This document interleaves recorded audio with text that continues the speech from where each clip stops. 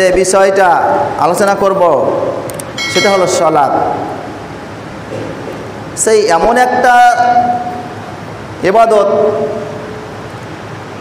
এমন একটা এবাদত এত মহাত্ম এত গুরুত্ব, যার সাথে কোনো আপোষই নেই। মানে আপনি ওয়াজ জাকাত দান, খায়রাত যাই করেন না কেন? যদি আপনার নমাজ ঠিক না থাকে সলাৎ ঠিক না থাকে, তো এগুলো আমল আপনি দেখতে পাবেন না। এগুলো কোনো কাজে আসবে না সব বেরোতে হয়ে যাবে। তাহলে কত গুরুত্বপূর্ণ? সেই আমলটা কত গুরুত্বপূর্ণ? কত কঠিন? আর এত কঠিন হজ করতে না পারলে অন্যজনকে দিয়ে হজ করা যাবে। সিয়াম পালন করতে না পারলে অন্যজনকে দিয়ে সিয়াম পালন করা যাবে। কিন্তু এমন একটা ইবাদত, আপোষ চলবে না। অন্যকে দিয়ে করা চলবে না। আপনার যে অবস্থাতে আছে পরিস্থিতি সে অবস্থাতেই পড়তে হবে। আপনার টাইমটাকে ওভার করা যাবে না। যে আজকে না কালকে পড়ব, বা আমি এখন কাজ করছি, পরে পড়ব এটা নাই এমন একটা ইবাদত। তাহলে কত গুরুত্বপূর্ণ ইবাদত? তার জন্যই বলেছে আল্লাহ যে এই এবাদতের সাথে এইটা যদি এবাদত না থাকে, তাহলে এটা যদি ঠিক মতো না হয়, তাহলে আপনার কোনো এবাদত কবুল হবে না। কোনো দান, কোনো নেকি, কোনো হওয়া জাকাত গড়ে মিসকিন যতই দান করেন আপনি কোনো কাজে আসবে না। তাহলে আমাদেরকে পাশে আমরা যতগুলো কাজ করব, তার আগে আমাদেরকে এই সলাদটা প্রতিষ্ঠিত করতে হবে ভালোভাবে। তাহলে সলাদটা প্রতিষ্ঠিত করার আগে আমরা কি করে ঠিক করব? নমাজ, সলাদ পড়েও জাহান নামে যাবে।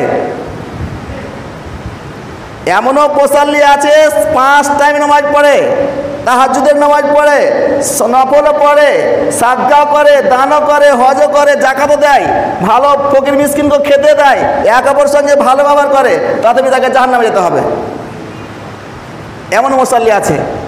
তাহলে সেই সলাদ থেকে আমাদেরকে কি করে প্রতিষ্ঠিত করতে হবে, কীভাবে কায়েম করতে হবে? সেই নিয়মটা আগে আমাদেরকে, সেই পদ্ধতিটা আগে জানতে হবে। আল্লাহ রসুল বলেছেন হাসের মধ্যে যে এই সলাদটাকে তিন ভাগে বিভক্ত করা হয়েছে। এক ভাগ হচ্ছে তহারাত, উজু, আর একটা হচ্ছে রুকু, আর একটা হচ্ছে সজুদ, সিজদা। তাহলে সলাদ প্রতিষ্ঠিত করার আগে আমাদেরকে আগে সুজু ঠিক মতো করতে হবে। পঙ্কন পঙ্কন রূপে উজু যদি ঠিক না থাকে, আপনি হাজারো দিন রাত মসজিদে সিজাটুকে আপনি কপালে ঘরটা ফেলে দেন, আপনার সলাৎ কায়েম হবে না। তাহলে আমাদেরকে একবার সলাৎ শুদ্ধ করে পড়তে হলে, ভালোভাবে কায়েম করতে হলে আমাদেরকে কী করতে হবে? উজুটা, তহারাতটা, পাকিজাটা কী করতে হবে? পবিত্রটাকে ভালোভাবে তৈরি করতে হবে। আমরা এত তাড়াতাড়ি উজু করি, কার কেহেনা ভিজে না, কার পাট টাকনু ভিজে না শুকা থেকে যায়। একটুক শুকাতে গেলে তো আপনার নামাজ হবে না, কিন্তু তাহার তো আপনার পবিত্রতা হলো না এখন। আমরা পেশাব করতে বসি, আমাদের পেশাবটা ছিটে আসে পায়ে লেগে যায়, কাপড়ে লেগে যায়, আপনার তোহারাত শেষ।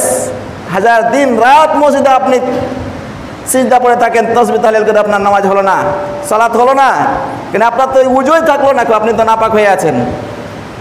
তাহলে উজুটাকে সব থেকে বড় নিয়ম হলো আপনাকে উজুটাকে ভালোভাবে পঙ্খনে পঙ্খনে করতে হবে। খুব বুঝে সুঝে ধীর স্থিরভাবে করতে হবে। আমরা এমনও করি উজু করছি, গল্প করছি, কথা বলছি, কয়বার ধুয়েছি কোনখান ধুনু না ধুনু ভুলে গেল আবার শুকিয়ে গেল এদিক এমনও লোক আছে, এমনও মুসল্লি আছে। তাহলে আমাদেরকে সলাদ ঠিক করতে হলে, আর সব থেকে গুরুত্বপূর্ণ এবার ঠিক করতে হলে আমাদেরকে এক উজুটা ভালো করে করতে হবে। আপনি প্রথমেই উজু মানে তিনবার হাত কবজি পর্যন্ত ধুবেন। ধোয়ার পরে আপনি কুলি করবেন, একবারে নাকে আর কুলি মানে নাককে ঝাড়তে হবে। ধীর স্থিরভাবে করতে হবে। আপনার এই নাকের মধ্যে এই শয়তান ঢুকে থাকে। এই চুলগুলাতে শয়তান উলুম গলাতে শয়তান ঢুকে থাকে। আপনি যখন ঠিক করবেন শয়তান পড়ে যাবে, বাড়িয়ে যাবে। তাহলে আপনাকে উজু ঠিক করতে হবে। কুলি করতে হবে তিনবার। আপনি তিনবার কেটে দশবার করেন যেটা ভালো হয়তো হয়। তিনবার এটা, আমাদের এটা জানা ছিল যে তিনবার না কমপক্ষে তিনবার এটা। কিন্তু আপনি একবার ধুতে পারেন দশবার ধুতে পারেন, কোনো যায় আসে না। কিন্তু সঠিকভাবে ধুতে হবে যেন কোনো জায়গায় সুখ না থাকে। কোনো জায়গা শুকনো না থাকে, তাহলে আপনি উজুটা ঠিক করেন। তিনবার ধন, চারবার ধন, দশবার ধন, কিন্তু ঠিক মতো ধুতে হবে। একবারে ঠিক হয়ে যায়, একবারে করেন। আপনি যত ধুবেন, তত সেই কিয়ামতের দিনে সেই হাতগুলো আপনার চমকিবে।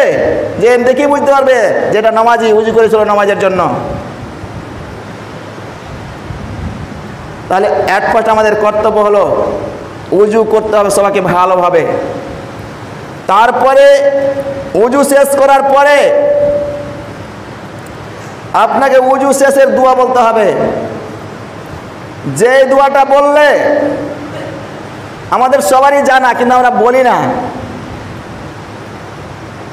জান্নাতের যে আটটি দরজা রয়েছে সে আটটি দরজা আপনাকে ডাকবে। আটটার মধ্যে ডাকবে। সেই উজুর দোয়াটা পড়লে পারে উজুর শেষ করার পরে। আপনি যদি নমাজ পড়েন নমাজ পড়ার জন্য একটা আলাদা দরজা রয়েছে, জান্নাত রোজার জন্য একটা সিয়ামের জন্য একটা জান্নাত রয়েছে আলাদা। জাকাতের জন্য আলাদা রয়েছে, কিন্তু এমন একটা ইবাদত, সেই উজু করার পরে দোয়াটা বললে সব জান্নাত দিয়ে আপনাকে ডাকবে যে, আসো আমার গেট দিয়ে পরিবেশ করো। তাহলে কত গুরুত্বপূর্ণ দোয়া? সেই দোয়াটা কি? আশাহাদু আন লা ইলাহা ইল্লাল্লাহু ওয়া লা শারিকা লাহু ওয়া আশহাদু আন্না মুহাম্মাদান আবদুহু ওয়া রাসূলুহু। জানা নাই? সবাই মক্তবে পড়েছেন। ছোট যখন কায়দা পড়েছে, সবাইকে মুস্তি করা হচ্ছে মুলি সাহেব। মুখস্থ আছে, কিন্তু বলি না। কয়জন বলি? তাহলে আজকে আমরা শুনতে পেলাম, জানতে পারলাম আমল করব এটার ওপরে আপনি ওইটা না বলে এটা বলেন, দুটা বলতে বলে আরও নাকি? কিন্তু ওইটা না বলতে এটা বলেন, আপনি জান্নাত আটটা দরজা দিয়ে আপনাকে ডাকবে, যে কোনো দরজা দিয়ে, যে কোনো গেট দিয়ে আপনি প্রবেশ করতে পারেন।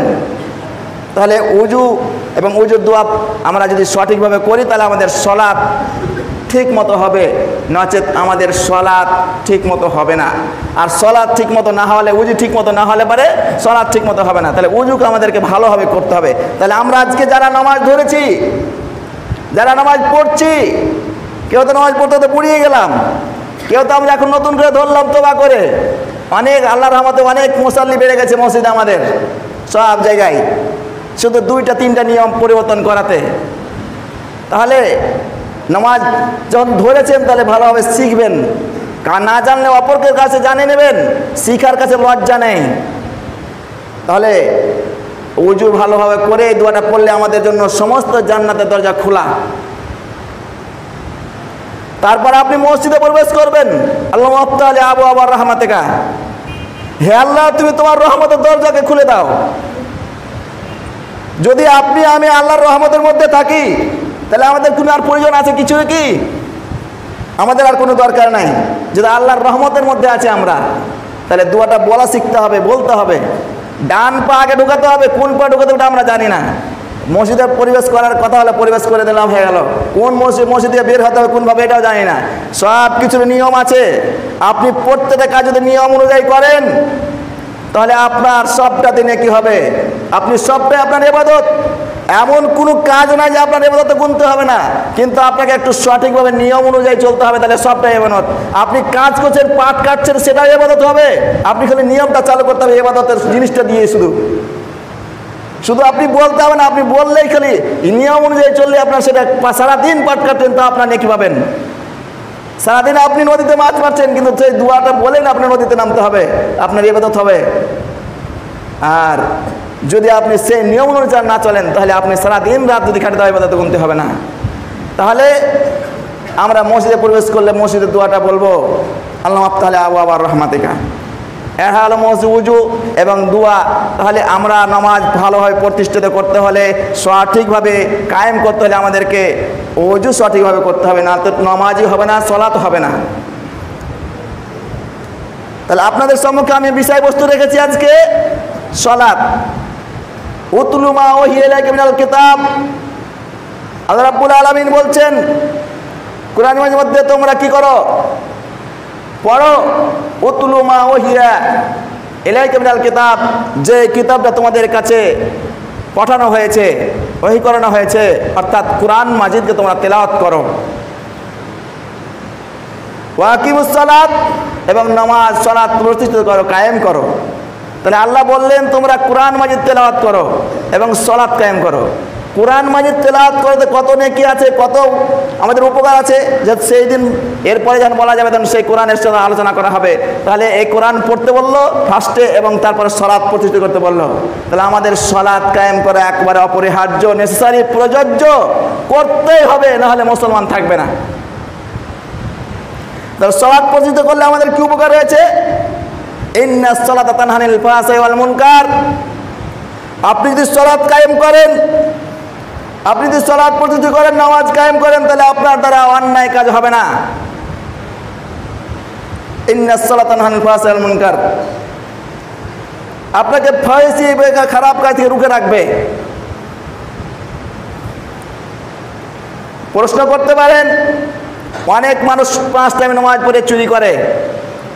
অনেক মানুষ নামাজ পড়ে ফের আবার আইল চেপে খায়।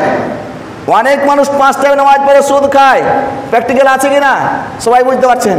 তাহলে তুই নামাজ কি করলে আগে কোরআনে বলছে ইন্নাসলাতানিল ফাসাল মুনকার।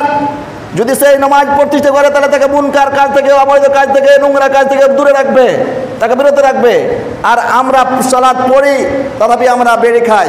আমরা সলাদ পড়ি গুল ঘষি আমরা সলাদ পড়ি সুদ খাই, আমরা সলাদ পড়ি জুয়া খেলি, আমরা সলাদ পড়ি লাটারি টিকিট কাটি, আমরা সলাদ পড়ি টিভি দেখি, আমরা সলাদ পড়ি ফায়ার গেম খেলি, তাহলে আমরা সলাদ পড়ি ক্যারাম বোর্ড খেলি, জুয়া খেলি। তাহলে কি করে ফায়ার কাজ দিয়ে রুখলো তাহলে কোরআন কি মিথ্যা হয়ে যাবে? অসম্ভব নওয়াজবিল্লাহ কোরআন মিথ্যা নয়। আমার দেখবেন আপনার সেই খাওয়াতে হারাম আছে, আপনার সলাতে হারাম নয়, সলাতে সলাতেই হয়নি, আপনার উজু ঠিক নয়। এক পাশে আপনার খাবারটা ঠিক না, হালাল খাবার নয়। দ্বিতীয়ত আপনার কি হলো? আপনি পড়তে হয়তো উজু ভালো করে করেননি। তৃতীয়ত হলো, আপনি মসজিদে সলাৎ প্রাইম করছেন কিন্তু ঠিক মতো খোঁজ খুঁজ নিয়ে করেননি। চিন্তা করে দেখেন, হয়তো আপনার গলায় তাবিজ আছে, আপনার হাতে সুতা বাঁধা আছে, আপনি সিরেকে ব্যস্ত আছেন, একটা না একটা আপনার ভিতরে পাওয়া যাবেই, যারা নামাজ পড়ে সলাৎ কায়েম করে, তার ভিতরে একটা হবেই। আর যদি অ্যাকচুয়ালিভাবে তার যদি সেই খাবার ঠিক থাকে, তার যদি হালাল খাবার থাকে সঠিকভাবে যদি উজু করে থাকে, তাহলে তার দ্বারা অন্যায় হতে পারে না, অসম্ভব, এটা যে ইম্পসিবল অসম্ভব হতে পারে না আপনি যারা সলাৎ কায়েম করে, যারা এগুলো কাজ করে, আপনি তদন্ত করে দেখবেন, তাদের ভিতরে একটা না একটা হবেই। এক পাশ আপনি তার খাবারটা চেক করে দেখবেন, তার ভিতরের ভিতরে হারাম খাবার ঢুকা আছে। আরেকটা বাক্য আছে তাফসিরে, ধরেন আপনি পাঁচ টাইম নামাজ পড়বেন। পাঁচ টাইম যদি খুঁজির মতো নামাজ পড়েন, আধ ঘণ্টা সময় লাগবে আপনাকে পাঁচ টাইম, পাঁচ পাঁচ চার কত দেড় ঘণ্টা আপনি কমপক্ষে নামাজ পড়বেন। পাঁচ টাইমে আপনি দেড় ঘণ্টা মসজিদে থাকলেন, ওই আপাতত ওই দেড় ঘণ্টা আপনার কাছে টিভি দেখা থেকে গুণাটা হয় গুণাটা থেকে বাঁচিয়ে রাখল। আপনি চায়ের দোকানে যে এক অপরের সমালোচনা করছেন, গিবাদ করছেন চুগলি চুগলিখড়ি করছেন, এই জিনিসটা থেকে আপনি দেড় ঘণ্টা বাঁচলেন ওখানে গুণা থেকে বাঁচালো না? বাঁচালো কিনা আপনি নিজের বেরেনকে একটু চিন্তা করে দেখেন। আপনি মসজিদের মধ্যে পাঁচ টাইমে দেড় ঘণ্টা থাকলেন। দেড় ঘণ্টা আপনি অপরের গিবত করলেন না। অপরের গিবত শুনলেন না। সেই টিভি দেখলেন না। যা গুজুয়া খেললেন না। আপনি লাটারি খেললেন না। যাতে এই দেড় ঘণ্টা তো বাঁচলে আপাতত। তাহলে নামাজ পড়লে সেই আপনাকে অন্যায় থেকে বিরত রাখবে। তাহলে আস্তে আস্তে আস্তে ছুটে যাবে। হঠাৎ করে ছুটবে না। আপনি একটা মেশিনকে চালু করে দেন। মেশিনটাকে বন্ধ করেন। ওর মেশিনটার চাকাটা থামতে কতক্ষণ লাগবে? কম করে না হলে তিন মিনিট, চার মিনিট লাগবে। আপনি তো সারা জীবন ধরে অন্যায়, অত্যাচার অবৈধ হারাম খেয়ে মানুষ হতে আছেন। আপনি তো আপাতত নামাজ ধরেছেন, সলাপটা কায়েম ধরেছেন। তাহলে আপনার মেশিনটার চাকা আপনি বন্ধ করছেন, কিন্তু আপনার চাকাটা কিন্তু ঘুরতে আছে। আস্তে আস্তে সেই চাকাটা অটোমেটিক থেমে যাবে।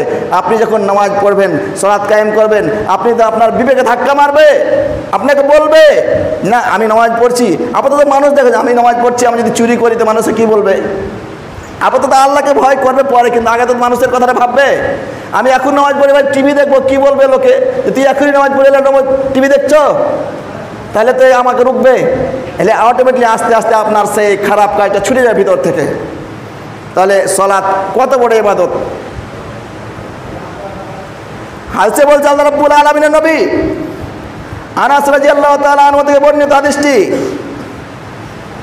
আউল মা হিসেবে আব্দে আমাল কিয়ামাত সলাতুন ফাইন সলাত সলা সাইর আমালহি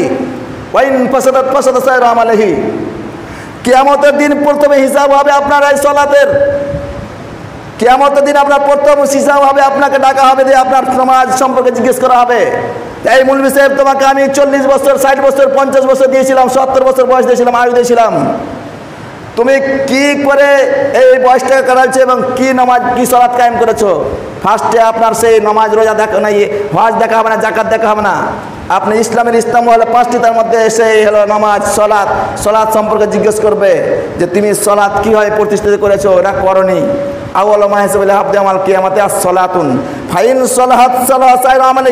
যদি আপনার সেই নামাজের হিসাবটা পূর্ণ হয়ে যায়, ঠিক হয়ে যায়, রাইট হয়ে যায়, সঠিক হয়ে যায়। আপনি যদি সেই নামাজের হিসাবে, সেই পরীক্ষাতে, সেই এক্সামিনেশন যদি পাস করে যান, তাহলে আপনার সমস্ত আমল ঠিক, আর কিছু দেখা হবে না। সব বিষয়ে আপনি পাস করে যাবেন। ওয়াইন ফাসাদাত ফাসাদ সাইর আমালে কি আর যদি আপনার সেই সলাতে গড়বড়ি চলে যাচ্ছে, আপনার সেই সলাতের প্রশ্নের উত্তর যদি আপনি না দিতে পারেন তাহলে আপনার সমস্ত আমল বেকার। আপনি যতই দান করেন, যতই বড় মসজিদ তৈরি করে দেন, সাদকে জারিয়ে করে যান, আপনি বড় বড় মুলবি সাহেব করে যান এটাকে, আপনার হজ জাকাত যতই করে যান, আপনার কোনো আমল কাজে আসবে না।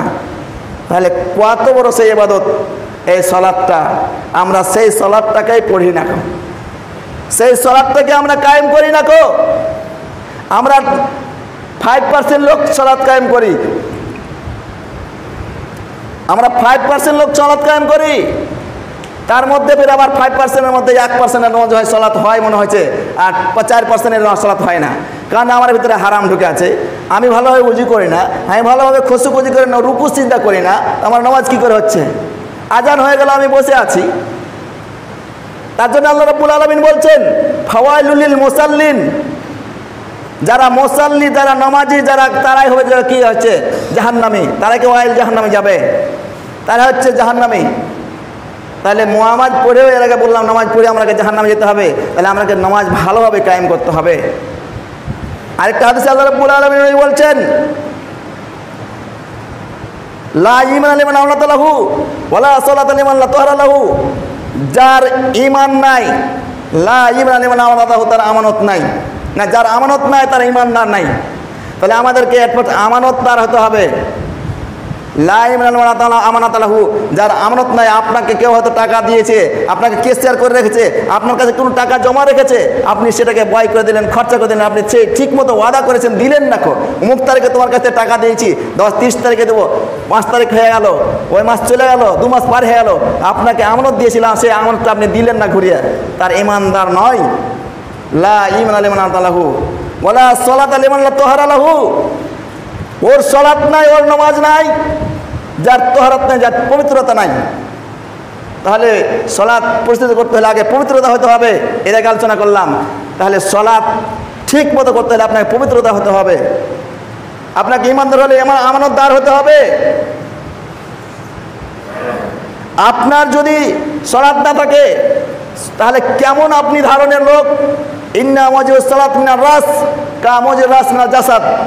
যে মতো এই বডিটা আছে, এই বডিটার যদি এই গলা থেকে, টুটি থেকে যদি না থাকে, এই বডিটার কোনো মূল্য আছে কি? যে বডির যে শরীরের যদি টুটি থেকে না থাকে, গলা থেকে না থাকে সেই বডির কোনো মূল্য আছে কি? সেই বডির কোনো মূল্য নাই। সেই শরীরের কোনো দাম নাই। সেই মতো যার ভিতরে সলাৎ নাই, তার সেই মানুষের কোনো দাম নাই। তাহলে কত বড় কথা দেখেন? বিনা মুড়ি থাকা টুটি থাকা যদি মানুষের দাম না থাকে, তাহলে একজন নমাজ যার নাই, তার ভিতরে কোনো দাম নাই। তার কোনো কারও, কোনো কাজে আসে না কেউ। তাহলে আমরা সবাই অকেজ কিনা দেখেন। সবাই হাদিস দ্বারা বোঝা যাচ্ছে যে আমরা সবাই অকেজ আমাদের কোনো দাম নাই। আমরা সে তো সলাৎ পরিচিত করি না সলাৎ কায়েম করি না আর আল্লাহ রব্বুল আলমিন বলেছেন, মুসলমান এবং কাফেরদের মধ্যে পার্থক্য হলো সলাৎ। আপনি যদি সলাৎ কায়েম করেন, তাহলে আপনি মুসলমান থাকবেন। মাইনাল আব্দুল কুবরা সলাতুন। কাপের এবং মুসলমানের মধ্যে পার্থক্য হলো সলাৎ আপনি সলাৎ কায়েম করলে আপনার সেই মুসলমান টিকবে, নচেত আপনি টিকবেন না। তাহলে আমরা কোন পর্যায়ে পৌঁছেছি দেখেন? আমাদের প্রতি এত আল্লাহর গজব আছে কিসের জন্য? শুধু আমাদের এই চরিত্র ব্যবহারের জন্য, আমাদের কীর্তিকলাপের জন্য। আমরা মুসলমান দাবি করি, আমরা নামাজ পড়ি না আর হাদিসে বলছে যে মুসলমান আর কাফেরদের মধ্যে পার্থক্য হলো সলাৎ। তাহলে আমরা সলাতে যখন পূর্ণ করি না, কায়েম করি না, তাহলে আমরা মুসলমান থাকলাম কি করে? আর আমরা মুসলমান দাবি করি তাহলে কি করে? তাহলে আমরা এই বিষয়বস্তু থেকে সময় শেষ হয়ে গেল। এই বিষয়বস্তু থেকে আমরা বুঝতে পারছি, কি বুঝতে পারলাম? যে আমাদের অ্যাট ফার্স্ট কর্তব্য হলো কি? সলাৎ কায়েম করা, আগে তোহারাত কায়েম করা, ভালো করে তোহারাত করা, উজু করা, তারপরে সলাৎ কায়েম করতে হবে। তাহলে আমাদের এই বডির কোনো মূল্য আছে, নচেত কোনো মূল্য নাই। তাহলে তো আমাদের এই বডির যদি মূল্য রাখতে চায়, তাহলে আমাদের সলাৎ কায়েম করতে হবে। অন্যায় থেকে অবৈধ থেকে অশ্লীল থেকে রুখতে হলে সলাৎ কায়েম করতে হবে। নচেত আপনি অবৈধ অশ্লীল থেকে বাঁচতে পারবেন না। এক পাঁচ এক নম্বর সূত্র হলো আপনাকে সলাৎ কায়েম করতে হবে, তাহলে আপনার দ্বারা সব অবৈধ কাজ শেষ হয়ে যাবে। আপনি যদি সলাৎ প্রতিষ্ঠিত করেন, আপনার বাড়িতে যদি সকলকে সলাৎ প্রতিষ্ঠিত করান, নামাজ পড়ান, আপনার ভিতরে অশান্তি থাকবে না, আপনার বাড়ির ভিতরে অশান্তি আসবে না, আপনি শান্তিতে বাস করতে পারবেন। আপনি সুখ এবং শান্তি দুইটা জিনিস এক নয়। আপনি কোটি কোটি টাকা, লাখ লাখ টাকা মাসে ইনকাম করতে পারেন। আপনার বাড়িতে যদি সলাৎ না থাকে, আপনার বাড়িতে যদি কোরআন তেলাওয়াত না থাকে, তাহলে আপনার বাড়িতে শান্তি আসতে পারে না। আপনার ভিতরে অশান্তি বিরাজ করতেই হবে। না তো যারা টাকা ইনকাম করেন, লাখ লাখ টাকা, কোটি কোটি টাকা মাসে চিন্তা করেন, তাকে জিজ্ঞেস করে দেখেন তার ভিতরে শান্তি আছে কি না তা হয় তার ছেলে মেয়ে নিয়ে অশান্তি, হয় তার স্ত্রীর সাথে অশান্তি, না হয় বাবা মায়ের সাথে অশান্তি, না হলে পাড়া প্রতিবেশী অশান্তি, না হলে অসুখ বিসুখ নিয়ে অশান্তি, না হলে সে কেউ না কোনো একটা অশান্তি আছে। আপনার ভিতরে তো খাবার আছে, বাড়িতে সুখ আছে, আপনার খাবারের অসুবিধা নাই, আপনার বাড়িতে প্রতিদিন মাছ, মাংস হচ্ছে, আপনার টাকার অসুবিধা নাই, ওষুধের অসুবিধা নাই, কিন্তু আপনার ভিতরে শান্তি নাই। আপনি যদি ভিতরে শান্তি চান, আপনার পরিবারকে যদি শান্তি, সুখে যদি চান বাস করতে, ইহকালে এবং পরকালে আপনার যদি শান্তি চান, তাহলে আপনাকে এই পৃথিবীর বুকে সলাৎ কায়েম করে দিতে হবে নচেত আপনার ভিতরে শান্তি আসবে না। আমরা অনেকে ঠিকাদার, অনেকে জামাদার, অনেকে বড় কোম্পানি কিন্তু কোটি কোটি টাকা ইনকাম করে, কিন্তু তার ভিতরে শান্তি নাই। কিন্তু সেই যখন গেল অনেক টাকা ইনকাম করল, কিন্তু মাসের শেষে তার ঋণেই আছে। কেন? ওই শান্তি, ওই রুজিকে, ওই টাকাতে, ওই পয়সাতে বরকত নাই। হয়তো আর গাড়ির এক কোটি টাকা জিনিস চলে গেল। হয়তো কুড়ি হাতে লস হয়ে গেল, অত ধস মেরে দিলে। কিন্তু আপনি যদি সলাৎ কায়েম করেন, আল্লাহর সেই হালাল রুজি সঞ্চয় করেন, তাহলে আপনার সেই রুজিতে শান বরকত হবে, আপনার বাড়িতে শান্তি থাকবে, আপনার আপনি সুখে বাস করে যাবেন। ইহকালে এবং পরকালে আপনি লাভবান হবেন নচেত আপনি শান্তি পাবেন না। তাহলে আমাদের শান্তি চাইতে হলে শান্তিভাবে যদি আমরা বসবাস করতে চাই। আল্লাহর সেই কঠিন বিপদ থেকে, দুর্যোগ থেকে, মহামারী থেকে, আল্লাহর গজব থেকে যদি আমরা বাঁচতে চাই, তাহলে আমরা যেন সকলে সলাৎ কায়েম করি। সকলে মানে আল্লাহ আমিন। আমরা যারা আজকে পর্যন্ত সলাৎ কায়েম করি না, সলাৎ ধরিনি, চেষ্টা করেন কিন্তু আপনি ছাড় পাবেন না। আমরা যেইটা রুলস যেইটা নিয়ম করেছি, সেই নিয়মে আমার কাছে অনেক মানুষ, অনেক গার্জেন যে বলছে, এই নিয়মটা হওয়াতে কত সুন্দর হয়েছে। আমি শান্তি পাচ্ছিলাম না। কখন আমার স্বামী আসবে তো রাত বারোটার সময় তাকে উঠে খেতে দিতে হবে। আজকে আর ওই চায়ের দোকানে থাকে না। নটা বাজলো, দশটা বাজলো, চলে আসলো, এসে খেয়ে শুতে গেল। আমার ছেলেগুলা টাকা নিয়ে চলে যেত, বাড়ি থেকে পকেট থেকে চুরি হয়ে যেত। আর হয় না, সে অবৈধভাবে ফুটাতে পারি না এখন। তাহলে কত ভালো হয়েছে। আশি পার্সেন্ট লোকের এখন মহাত হলে ভালো আছে, কিন্তু দশ পার্সেন্ট লোক উল্টা আছে। কেন? তারা সেই ওইগুলো করতে পারে না। আল্লাহ দিবে, তাদেরও সেই মনটা, মাইন্ডটা ফ্রি হয়ে যাবে। কারণ তারা বুঝে না, বুঝবে। এমনি তো মানুষ জলে বলে যে বোকা বুঝে ভাটিওয়ালায়। ও বুঝবে যখন ভাটিওয়ালা হবে, তখন বুঝে যাবে। যারা এখন পর্যন্ত নমাজ পড়েন না, সলাৎ কায়েম করেন না, আপনি এখনও শুদ্রে যান, সলাৎ কায়েম করেন, নাচেত আপনাকে, যেই আমাদের মুলবি সাহেবরা বিয়ে পড়িয়ে দিচ্ছে, তাকে একবার ছাড়া হবে, দ্বিতীয়বার কিন্তু ছাড়া হবে না। ওই গার্জেন যদি বিয়ে না পড়ে, না নামাজ না পড়ে, কোনো মুলি সাহেব বিয়ে পড়াতে পাবে না, পাঁচ হাজার টাকা থেকে জরিমানা লেগেছে মুলি সাহেবকে কিন্তু সাবধানে বিয়ে পড়াবেন। যদি সে তোবা করে যে আর নমাজ ছাড়বো না যদি সে তোবা করে যে আর জীবনে নামাজ ছাড়বো না, আজকের মতো আমাকে ছাড় দেওয়া হোক, তাকে ছাড়া হবে, নচেত একবারই হবে, দ্বিতীয়বার হবে না। আর যদি কোনো মূল্য সাহেব তারপরেও যদি পড়ে দেয় আসতে, যদি লোক নামাজ নেওয়া পড়ে তাহলে স্যার, পরে বার তাকে ছাড়া হবে না। তাই নামাজ পড়লে কার উপকার? এই যে নিয়মগুলো করা হয়েছে, শুধু কি মুলবি সাহেব, আঠাশটা মুলবি সাহেবের উপকার আছে, না সারা খাসমালবাসীর উপকার আছে? সমস্ত মানুষেরই উপকার আছে। আর্থিক দিক দিয়ে উপকার আছে, সে পারিপার্শ্বিক দিক দিয়ে উপকার আছে, সমস্ত দিক দিয়ে আমাদের উপকার আছে। কিন্তু আমরা শুধু মুলবি সাহেবদেরকে আমরা গালি দিচ্ছি যে, এইগুলো ওই মুলবি সাহেবই করেছে। এটা কিন্তু ভুল করছেন। কারও নাম মেনশন করে বা কাউকে ধরে গালি দিবেন না। কারও সমালোচনা করবেন না। আপনি সমালোচনা করছেন মুলবি সাহেবের। কিন্তু ওই মুলবি সাহেবের ঘুরে আবার খাতাতে নাকি হচ্ছে, আপনার খাতাতে গুনাটা হচ্ছে? মুলবি সাহেব বাড়তে বসে বসে সেই নাকি পেয়ে যাচ্ছে। আপনি কই চার দোকানে বসে খালি মানুষের গুজাব করা হলো, আর গুনহার ভাতটা আপনার লেখা হলো। খবরদার, সাবধান হয়ে যান, কারও গুজাব করবেন না। এইগুলো শুধু নিয়ম হয়েছে শুধু মুসলমানে, আমাদের উপকারের জন্য, শুধু মূল সাহেবের জন্য নয়। তাই আমরা যেন সকলে পাঁচ টাইম নামাজ আদায় করি এবং সেই আমাদের ছেলে মেয়েকে পাঁচ টাইম সলাৎ আদায় করার সেই আদেশ করি কড়াভাবে না পড়লে তাদেরকে মারতে হবে, হাদিসে আছে, যখনই বয়স দশ বছর হবে তাকে মেরে নামাজ পড়াতে হবে। তাই আমরা এখন পর্যন্ত নিজে নামাজ পড়ে তো ছেলেকে কি করে আদেশ করতে পারি?